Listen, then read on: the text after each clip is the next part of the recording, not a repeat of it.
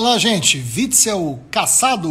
Witzel não é mais governador do Rio de Janeiro? Pois é, o governador do Bolsonaro, né? O governador do Flávio Bolsonaro acaba de ser caçado. Envolvimento com corrupção na área de saúde, coisas graves. Esperar vocês entrarem. E queria falar também sobre a SEDAI. Mas vocês viram o impeachment do Witzel? O que as pessoas esquecem de comentar é como o Witzel foi eleito, por qual partido, porque parece que o Witzel veio de Marte, né? Não parece que ele foi um candidato apoiado por Bolsonaro, por Flávio Bolsonaro, não parece que ele era do PSC, né? não parece que ele era um candidato ligado a alguns setores religiosos, né?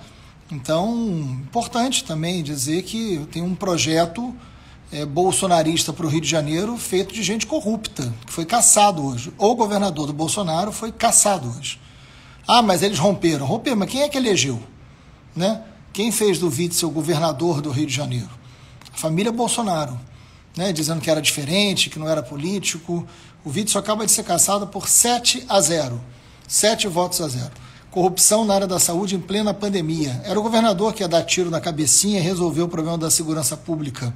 Não é mais governador, está caçado. Vai responder por isso. Né? Enfim, que isso fique claro. Mas eu queria tocar num outro assunto com vocês. Daqui a pouco a gente fala mais do Witzel aqui. Mas vamos lá. É, pode me responder? Posso responder o quê? Depois eu vou tentar ler aqui, porque eu não. É muita gente falando. Chegou a hora do Bolsonaro. Vamos lá. Vamos, deixa eu fazer uma coisa aqui com vocês rápida. É, hoje teve o leilão da SEDAI. Né? O governador, mesmo sem autorização da Assembleia Legislativa, é, fez o leilão da SEDAI. Enfim, é, e aí tem uma coisa interessante que aconteceu no leilão da SEDAI hoje que eu queria dividir com vocês. É, eles fatiaram o Rio de Janeiro, são 35 municípios que será que a água e o, e o esgoto, o saneamento será privatizado, isso é uma concessão, né? É, e é muito polêmico esse assunto, a gente tem que debater, mas vamos lá. Dividido em quatro blocos. Um deles é Zona Sul, mais São Gonçalo, Maricá, é, Rio Bonito, Tanguá, Cantagalo, enfim, são vários municípios e mais a Zona Sul do Rio de Janeiro. Um outro bloco é Centro, Zona Norte Baixada Fluminense. Um outro bloco é Barra, Jacarepaguá, Miguel Pereira e Pati. E o quarto bloco é chamado a Zona Oeste do Rio de Janeiro. Eu sei que Barra Jacarepaguá também, mas são Zona Oestes bem distintas, né? É, a Zona Oeste do Rio de Janeiro, ou seja, Campo Grande, Bangu, Santa Cruz, aí pega Itaguaí, Seropédica, né, pega outros, outras regiões. Quatro blocos, entenderam bem, né? Para que fosse feita a concessão da exploração de é, saneamento, água e esgoto. Então, hoje foram dados os lances, as empresas entraram, não tem interesse, compra, concorre. Só teve uma área, só teve uma área que não teve nenhuma oferta. Uma área que ninguém, nenhum investidor, nenhum empresário, nenhuma empresa quis comprar, quis se meter. Qual foi? Adivinhe. Adivinha, vou dar um tempo para vocês responderem. São quatro blocos, tá bom? Quatro blocos. O primeiro deles, Zona Sul, mais São Gonçalo, Maricá, né, etc e tal. Segundo, Centro, Zona Norte, Baixada. Terceiro, Barra, Jacarepaguá, Miguel Pereira e Pati. Quarto, Zona Oeste, ou seja, Campo Grande, Bangu, Santa Cruz, aí tem Itaguaí, Seropédica.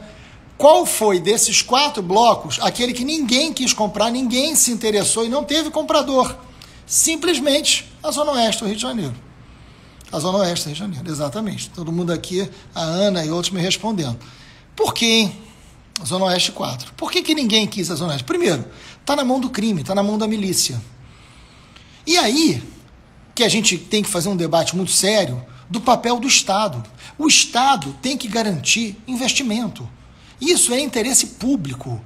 Não pode, não podemos depender do setor privado. O setor privado não vai operar onde tem uma organização criminosa onde não vai dar lucro. Porque o setor privado tem uma natureza que é distinta da natureza pública. E aí está aí a prova. Eu estava esperando isso acontecer. Ninguém apareceu para fazer oferta pela zona, pela zona oeste do Rio de Janeiro, onde a milícia está dominando a vida das pessoas. E aí, faz o quê? Não tem saneamento para essas pessoas? Tem que ter. O Estado tem que ter capacidade de investimento. O Estado tem que ser indutor. Por isso que é absurda essa situação da ideia de um Estado fiscal, onde você retira o pagamento de juros e dívidas, mas o investimento naquilo que a pessoa mais precisa, o Estado não pode fazer. Aí tem que ter responsabilidade fiscal. Para pagar juros da dívida e transferir dinheiro público para setor privado, pode. Né? Olhem o plano do Biden. Olhem o que a economia mundial está fazendo. Tem um giro. O Brasil está na contramão. Essa lógica está na contramão da humanidade. Está na contramão da economia mundial. Não faz sentido. Aconteceu o que eu, obviamente, sabia que aconteceu, o que todo mundo estava falando. Vamos fazer um debate de racionalidade. Vamos fazer um debate. Olhem o plano que está salvando a economia mundial nesse pós-pandemia. Pós-pandemia para alguns, né? Porque aqui, com o Bolsonaro presidente, a gente não consegue ter pós de nada. Né? A gente vive o buraco profundo da pandemia por causa deste lastimável senhor que está na presidência da República. Mas vamos lá. A questão é: o Estado tem que ter capacidade de investimento. A Zona Oeste, dominada por milícia. Eu fiz um pronunciamento essa semana mostrando que a milícia do Rio de Janeiro já domina 58% do território da cidade do Rio de Janeiro. Pesquisa feita, está aqui, eu vou mostrar para vocês, inclusive. Me perdoem. Ó, vê se dá para ler. Esta pesquisa, conseguem ver? Essa pesquisa saiu agora, esse mês. A pesquisa feita pelo Observatório das Metrópoles e pelo Grupo de Estudos de Novos Ilegalismos. Esta pesquisa, com números novos sobre milícia, mostra algo muito, muito grave. Eu fiz um pronunciamento oficial pelo líder, pela liderança da minoria no plenário da Câmara. 58%, está aqui, gente, eu vou mostrar para vocês. 58% do território do Rio de Janeiro, em quilômetros quadrados, pertence à milícia. Né? É, 2 milhões e 200 mil pessoas na cidade do Rio de Janeiro vivem em áreas dominadas por milícia. A área dominada por milícia, mais abertamente, claro que tem várias outras regiões, não houve proposta do mundo privado para os lances da SEDAI. Então a milícia não é um problema de polícia somente. A milícia não é um debate de tipificação penal. Existe um projeto de uma sociedade miliciana, que hoje tem um representante no Palácio do Planalto, que é uma sociedade marcada pelo medo, pelo ódio, pelo terror, pelas armas, pela não-valia da Constituição de 88.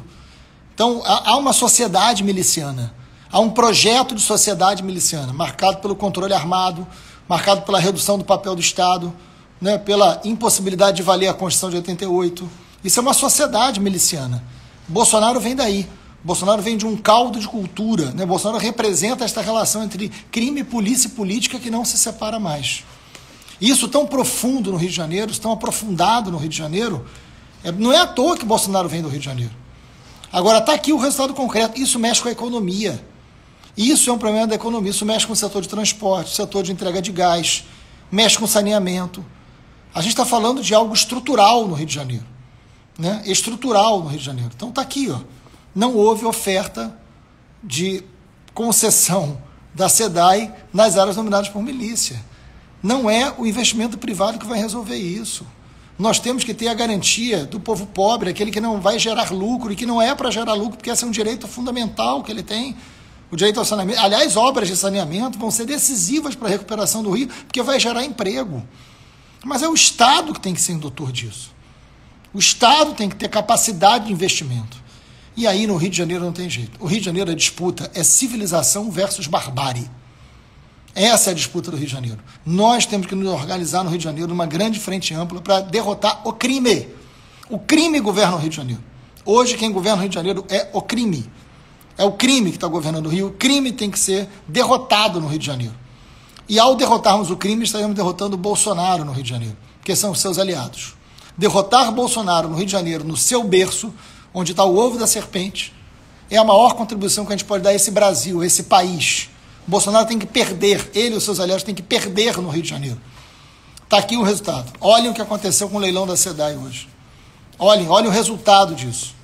Onde pode ter lucro, teve investimento. Onde não pode ter lucro, a população fica sem direito. Isso não está correto. Isso não é correto. Então é disso aqui que a gente está falando. E o Witzel, governador do Bolsonaro, não é mais governador foi caçado. Espero, Bolsonaro, que você tenha um destino semelhante ao do sua cria, ao do ex-governador do Rio de Janeiro. Ok, gente, muito obrigado. Estamos aqui prestando esclarecimento para vocês.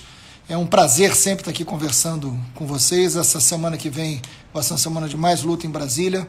Tamo junto. Abraço.